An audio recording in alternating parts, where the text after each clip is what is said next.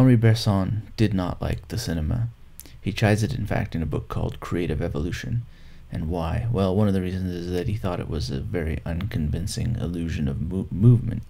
Um, Bergson did not think the cinema adequately connected with his key concepts of time and space and duration. In fact, Bergson did not think that film could effectively engage with duration whatsoever. Now, what on earth does this term duration mean for Bergson? In very brief terms, duration has to do with time and consciousness and how uh, these things can be measured from a mechanical viewpoint and from a psychological viewpoint. So he thought, for instance, that time was not some sort of fixed entity that moves in strictly linear measures. Rather, time is unfixed and broken and subject to different kinds of speed. In other words, depending on the circumstances, we sometimes perceive time as going very quickly or very slowly even though from the mechanical perspective of your wristwatch, it's always proceeding along at a very regular measure. So duration is the term he used to describe how people experience time in their inner lives. And so basically Bergson felt that the cinema, no matter how beautiful, uh, no matter how beautifully it might express movement, utterly failed to express duration.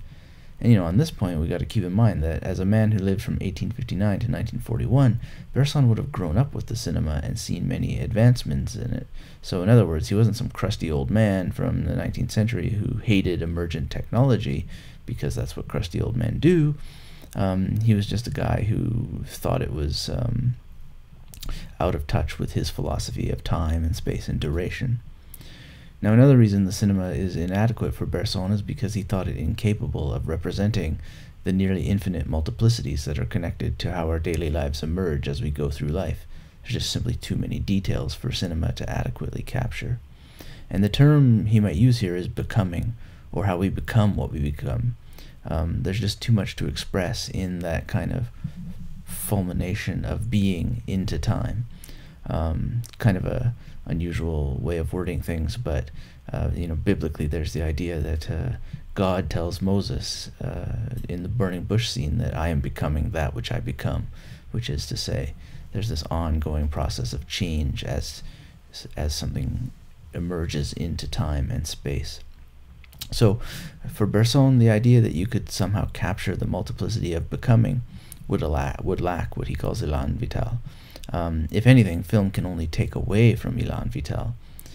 He also says that one very damning element of film is that the illusion of movement comes not from the subject matter, but from the mechanical apparatus, which is to say that the illusion of movement comes from the rapid passage of still images through the projector. And the ultimate problem here for Bergson is that what the film is doing, or what cinema is doing, by giving us the illusion of these chopped up single frames, uh, recreating uh, some semblance of reality as they fly by at 24 frames per second. It's actually, in fact, exacerbating something that humans are already doing all the time. We already project the illusion of continuity onto the world. Our psychology requires us to see things as continuous and round and full and in sequence, when in fact it isn't that way at all.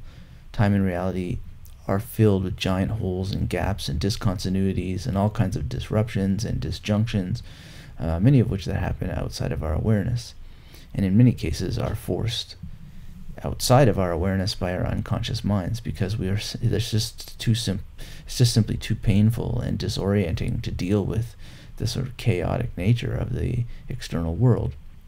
And interestingly, according to some, this sort of ability to filter out the multiplicities of reality and what's going on is a healthy thing when you think of it in contrast to something like the definition of autism, which is an inability to filter out all these phenomena and stimuli that are constantly um, competing again, you know, competing to our representation representation centers uh, for attention, so that means our visual representation center, our auditory, uh, our kinesthetic, our gustatory, and our olfactory centers are constantly bombarded. So um, we need a filtering system. And we project continuity in part on all that phenomenon in order to survive in daily life. So, in sum, Bergson's complaint with the cinema is that it is a false image that is precipitated by an already false perception of the world. So the question is, how then does Bergson suggest we escape this circuit? You know, besides not going to the cinema or downloading a movie from Netflix, what can we do to somehow become aware of the real processes that are going on in reality?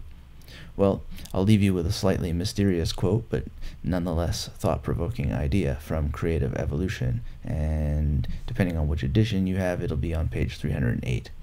So, Bergson says in order to advance with the moving reality, you must replace yourself within it. Install yourself within change, and you will grasp at once both change itself and the successive states in which it might at any instant be immobilized.